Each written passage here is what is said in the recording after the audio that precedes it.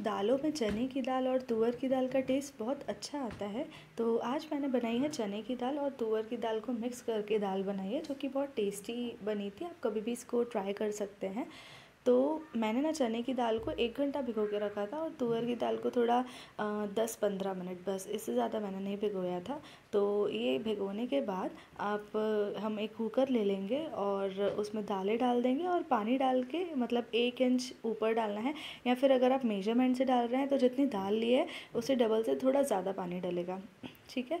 उसमें फिर हम तेज़पत्ता डाल देंगे, उसके बाद सिर्फ़ नमक, हल्दी टमाटर और हरी मिर्च। ये सब हमको डाल देना है और इसको थोड़ा ऐसे मिक्स कर लेंगे हम और इसमें थोड़ा सा हल्का सा तेल डाल देना है। तेल ज़रूरी नहीं है क्योंकि हम बाद में तड़का भी देंगे तो आपकी मर्ज़ी है। उसके बाद हम विसल ब्लो करवा लेंगे तो तीन हम फुल फ्लेम पे करवाएँगे और एक मीडियम फ्लेम या लो फ्लेम पे। उससे ना हमारी दालें गल जाएगी। तो जब आप ओपन करेंगे तो उसके बाद आप देख लीजिएगा कि अच्छे से मतलब गली है दाल या नहीं गली है, अगर नहीं हुई हो तो एक दो सीटी और आप दे सकते हैं। उसके बाद हम इसको अच्छे से बॉईल कर लेंगे तो अगर पानी कम है दाल में तो थोड़ा और ऐड करके अच्छे से हम इसको बॉईल कर लेंगे। और ये बॉईल करने के बाद इसमें थोड़ी सी मिर्ची डालूँगी, क्योंकि मेरे को तड़का देना है।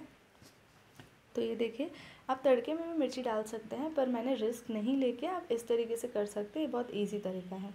तो तड़के में मैंने थोड़ा तेल लिया है और थोड़ा घी लिया है, घी टेस्ट के लिए अच्छा लगता है।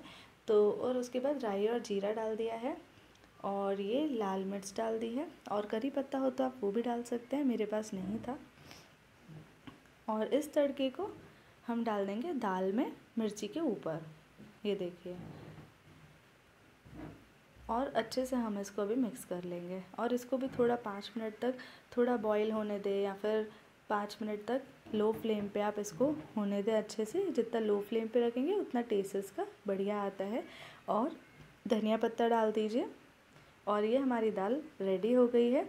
आपको कैसी लगी हमारी रेसिपी ज़रूर आप कमेंट करके बताइए। और बना के भी देखना ट्राई करके भी देखना कि कैसी बनी है। बहुत टेस्टी लगती है। आप इसको राइस के साथ खा सकते हैं। यहाँ पराठा आपको जैसे चाहिए, आप इन्जॉय कर सकते हैं। और मेरे चैनल को प्लीज़ लाइक सब्सक्राइब और शेयर करना ना भूलें। प्लीज़ और रेसिपीज़ के लिए नोटिफिकेशन बेल दबाना ना भूलें। Thank you